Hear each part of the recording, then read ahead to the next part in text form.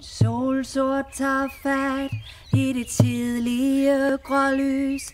Nu glemmer den sneen og stormens rusk. Den takker for krummer. Jeg gav den i vinter og synger så glad fra sin ene bærbusk. Nu siger jeg vel mødt til de spraglede skader, der snuppede ulovligt så mange en bid. Vær tilgivet venner, vi ved det jo alle, at skaffe det daglige brød er et slid.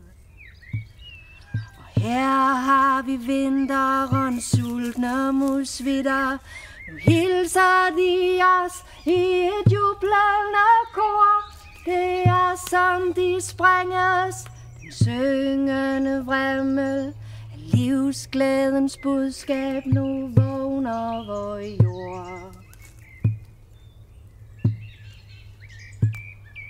Jeg frydes med dem over forårets komme. Den travlsomme tid er omsider forbi.